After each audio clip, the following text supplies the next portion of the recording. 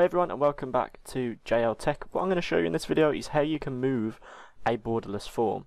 So you can see in this example we can move this form around and it's you know it's got no border it's just a panel and I'm going to show you how you can do so. So if this is what you are trying to achieve then stick around and watch this video. First and foremost I'm just going to add a quick button. This isn't part of the tutorial by the way and we'll just do form 2 dot show. Right, okay. So, first things we want to do is we want to jump over to our new form and obviously this form border size style will be none to give us that non panel kind of look. And we're going to go ahead and add a panel.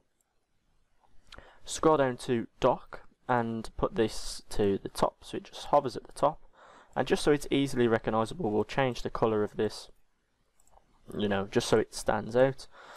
Um, so when we click and hold on this it will um, act accordingly and let us um, move the form. So we'll double click the panel first and under public class we need to add two references.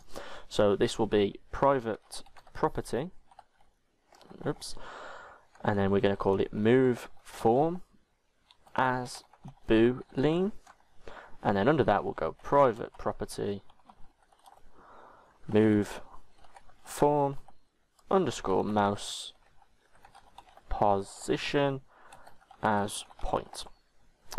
Okay, so we've added our reference in there. Obviously it's going to say zero references because we haven't coded this yet.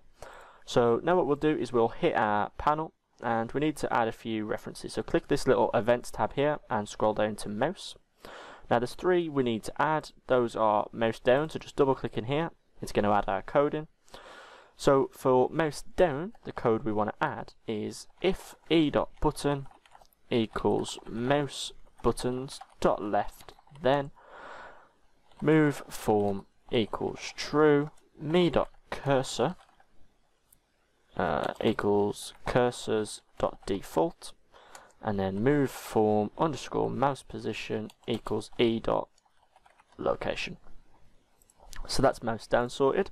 We'll now go back to the mouse options and we'll do mouse up and then we'll go if a dot button equals mouse buttons dot left then move form equals false me dot cursor equals cursors default. And then finally we'll add a mouse move option which is this one. So just double click and it'll automatically put this section into your code for you. Super simple. Uh, for mouse move it's if move form then me dot location equals me dot location again plus open brackets e dot location minus move form underscore mouse position close brackets. And that is pretty much it. Once you now save this.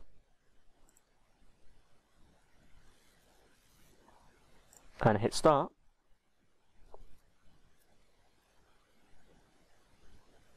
and we'll hit this form on to show our new panel. You can see we can now move both forms around just as easily as that just by adding you know three lines of code. No using no external plugins and we can drag this around you know as we please. So that's it for this video guys. If you did learn something from it please do consider subscribing and leaving a like rating on this video. And until next time stay safe and I'll see you next time